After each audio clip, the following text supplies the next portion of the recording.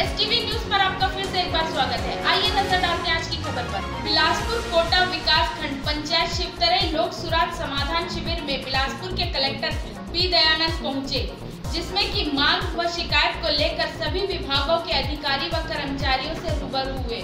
इस शिविर में 10 ग्राम पंचायत शामिल हुए थे, जिनमें 1968 आवेदन लोक सुराज समाधान शिविर में प्राप्त हुए थे, जिनका निराकरण 1956 मौके पर ही निराकरण किया गया। समाधान शिविर में मौके पर ही 30 आवेदन प्राप्त हुए थे, जिसका 25 आवेदन का निराकरण किया गया। बिलासपुर कलेक्टर श्री पी दयानंद के द्वारा शिव में बने तीरंदाज कबड्डी खो खो के लिए मैदान बनाया गया। का भी निरीक्षण किया गया। फिर परीक्षण केंद्र भवन का जायजा लिया गया। उसमें कुछ खामियाँ हो रही थी। उसको जल्द से जल्द पूरा करने के लिए संबंधित अधिकारियों को निर्देश दिया गया।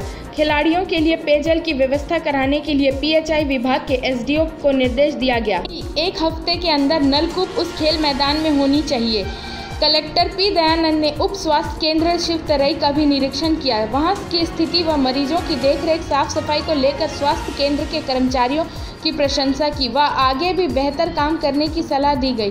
लोक सुराज समाधान शिविर में सभी विभाग के कर्मचारी अधिकारीगण मौजूद रहे। शिक्षा विभाग, पुलिस विभाग अबकारी विभाग, राज्यसभा विभाग, खाद्य विभाग, पीएचआई विभाग आदि सभी विभाग लोक सुराज समाधान शिविर के दौरान निराकरण करते नज़र आए।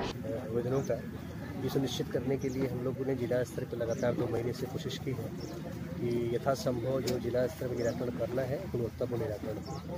तो तीन चीज़ें जो उसमें तत्कालिक रूप से करने की आवश्यकता थी उसको किया भी गया है।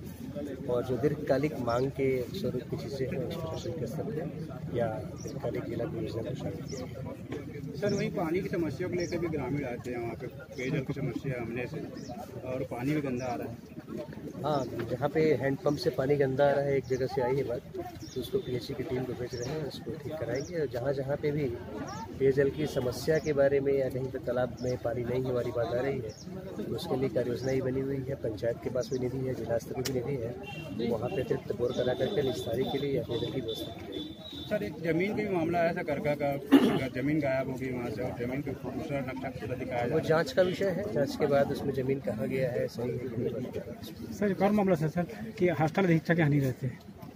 ये शिकायत मेरे पास नहीं है। उसको अधीक्षक होंगे मेरे पास भी शिकायत है कि नहीं मिली ऐसी। सर जैसे यहाँ पे ग्राम पंचायत यहाँ पे कई दूर दूर से हैं ग्राम पंचायत है पीपर तारा है ये सब। कितने दूर से ग्रामीणों को यहाँ इतना दूर आना पड़ा शिवतराई में लगाया गया है शिविर। कहीं पास में शिविर भी लग सकते थे सर?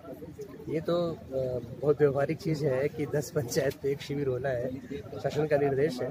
तो कहीं न कहीं अगर कहीं केंद्र में होगा तब भी परिधि वाले को दूरी होगी। तो जो आवागमन के दृष्टिकोण से सभी के दृष्टिकोण से सही है उसी जगह पर रखा गया 看清楚